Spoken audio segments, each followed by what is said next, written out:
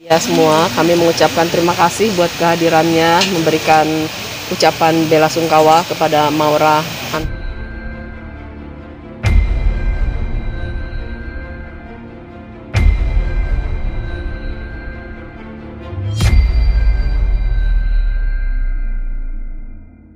Ini mengucapkan turut berdekat cita dulu atas meninggalnya almarhum. Mungkin Ya ya, rapiin dulu, rapiin dulu. Handphone turunin dulu dikit handphone. Oke, udah aman ya. Oke. Ya, eh, rekan-rekan media semua, kami mengucapkan terima kasih buat kehadirannya, memberikan ucapan bela sungkawa kepada Maura, anak kami tercinta. Kami jelas merasa betul-betul kehilangan, karena kami punya anak dua ya, Maura dan Dimel. Jadi sekarang anak kami tinggal satu. Namun demikian, saya yakin apa yang Maura hadapi sekarang adalah yang terbaik dari Tuhan. Mungkin hilang semua sakitnya, gitu. Itu aja sih. Kalau boleh tahu sakit apa? sakit apa? Oh, eh, dia kalau sebab penyakitnya kan adalah henti jantung kan. Terus tadi eh, kami bawa ke rumah sakit jam 5 pagi dinyatakan meninggal 5.37 jadi sempat ada waktu 37 menit dan tidak tertolong. Jadi sudah lemas dan sudah dingin. Waktu dari rumah eh, Sudah dingin sudah juga. lemas. Karena memang nggak tahu mungkin karena kondisinya lagi drop dia tidak tidur dia lagi ngurusi eh, wisudanya. Bulan depan dia akan wisuda dari Sydney University. Dia baru selesai S2 wisudanya masih belum tahu boleh atau tidak pergi ke Australia karena masih ter lockdown kan kemudian dia juga eh, melamar-melamar kerja mungkin karena stres beberapa hari ya tidak tidur dan ya begitulah ternyata ada beberapa hal yang tidak bisa dideteksi oleh kita semua Mbak. mungkin juga Maura sendiri juga tidak menduga bahwa akan secepat itu Berakibat fatal. Ya. Dia Ada ada penyakit lainnya, Pak? Eh, relatif tidak ya cuman ya memang Maura kan memang eh, apa ya eh, biasalah remaja kan antidepresan eh, agak eh, depresi ya. stres gitu-gitu kan jadi ya konsultasi ke psikolog ke psikiater gitu juga anak muda rutin apalagi dilakukan. Ya. ya Ya. Karena eh, kalau saya melihat pandemi ini juga membawa satu akibat ya. Banyak orang frustrasi karena nggak bisa bergaul bebas, mau berinteraksi sulit gitu. Jadi hubungannya hanya per Zoom, kan mungkin lama-lama bete juga ya. Jadi banyak ya mungkin anak saya salah satu korban dari ini semua ya. Jadi eh, rasa frustrasi kemudian menjadi asosial yang biasanya berkumpul dengan teman-temannya jadi sulit gitu karena dikit-dikit saya juga kalau ada teman-teman dia ke sini selalu minta antigen dulu gitu Iya. jadi mungkin hal-hal gini membebani dia gitu dan ya nggak semua orang bisa kuat ya bisa kuat nah Maura menemukan kelemahannya itu di sini gitu. Tapi sebelumnya Mbak, ada firasat firasat apa gitu tante? Hmm? Sebelumnya ada firasat firasat tertentu atau gimana tante? firasat. Eh, firasatnya sih saya ya dalam beberapa hari ada ya ada ketakutan-ketakutan nih gitu Eh, gimana Mora gimana Mora gitu ya karena harus didampingi terus gitu. Dalam masa rentan seperti itu labil eh, saya merasa harus mendampingi terus padahal kerjaan juga jalan terus ya. Ya eh, namun apa yang tadi malam terjadi rasa-rasanya sekarang ini sudah yang terbaik mungkin yang Maura dapatkan. Mungkin yang menjadi tujuannya juga gitu. Jadi tidak ingin membebani semua orang ya. Eh, ya saya berharap dia sudah menemukan surganya. Sosok almarhum di mata Mbak Nurul, sosok almarhumah. Seperti apa apa sih? anaknya? anaknya? Eh, ya kalian pasti tahu semua Maura pertama anak yang sangat cantik ya. Sangat pintar. Maura itu orang yang sangat cerdas. Mungkin karena cerdasnya menjadi apa eh, eksentrik. eksentrik. Nah itu. Eh, tatonya ada di seluruh badan ya jadi tidak mau dibatasi begitu dan eh, apa ada piercing juga Eh, ketika saya melarang jangan melarang saya itu bagian dari kepuasan saya gitu. Karena menjadi anak seorang eh, politisi itu nggak gampang gitu kan. Jadi dia harus banyak membatasi berpikir dan sebagainya. Akhirnya dia larinya ke tubuhnya sendiri gitu. Kronologinya seperti apa sih? Eh, tadi malam jam 1 itu masih ngobrol sama, sama Mas Mayong.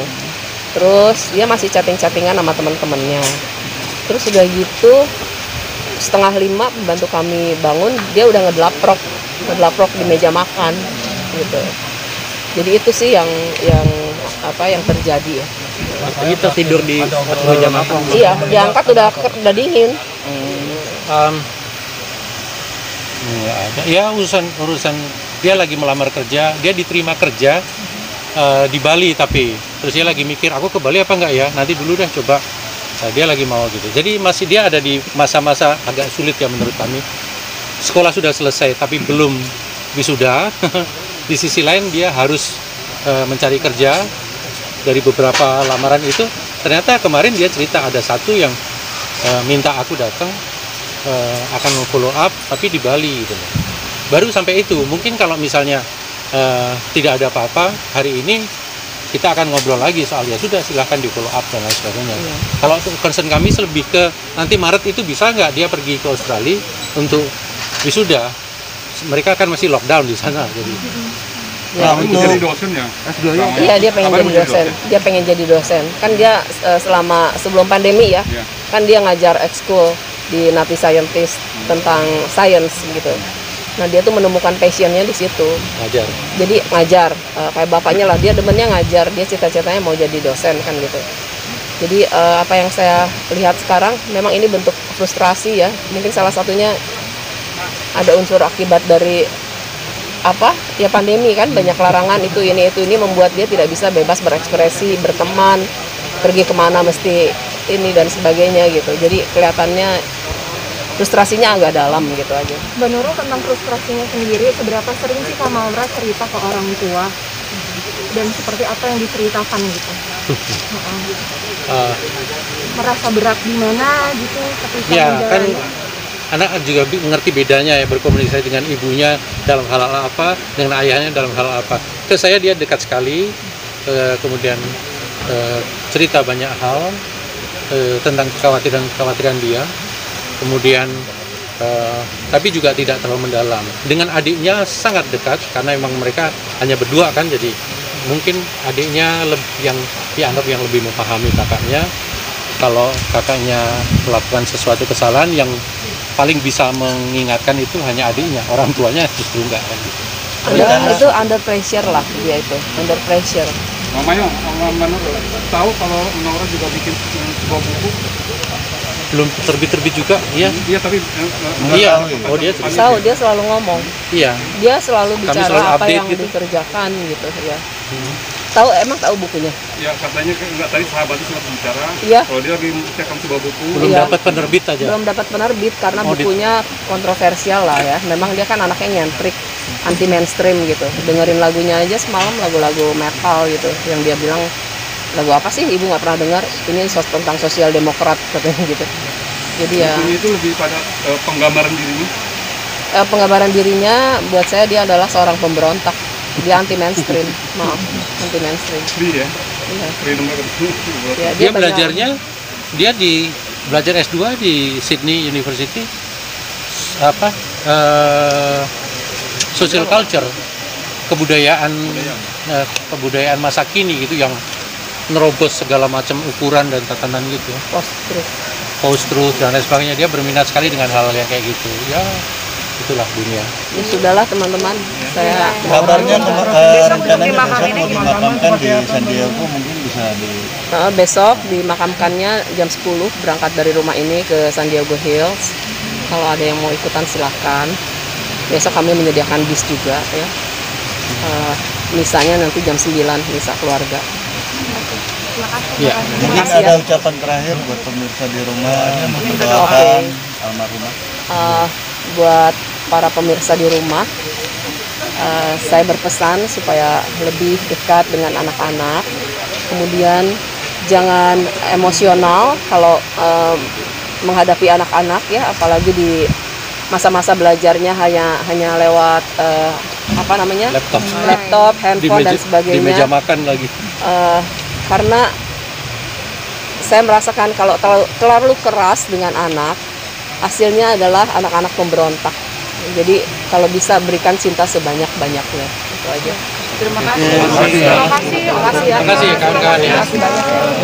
Tolong dikoreksi namanya Maura Majalia